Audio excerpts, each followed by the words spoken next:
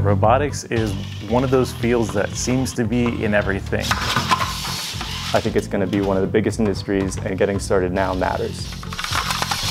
We're VT CRO. It's the competitive robotics organization at Virginia Tech.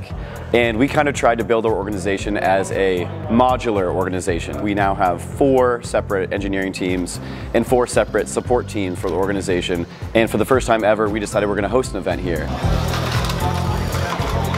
We're really excited to put that on because we are not only throwing one competition, but two back to back.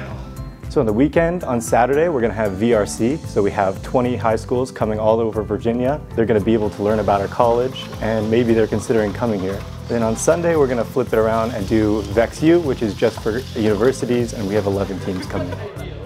We have varying ranges of experience. We have senior students, freshman students, who all have different backgrounds and knowledges that it's really easy for that, everyone to pull in information and just contribute. Here we have the freedom to make as many robots as we want and have as many people working on them at the same time. People come in, they work for a little bit and then they leave, but during our full team meetings, it's this really fun atmosphere where we just all have a really good time. This serves a lot of general knowledge and just general applications.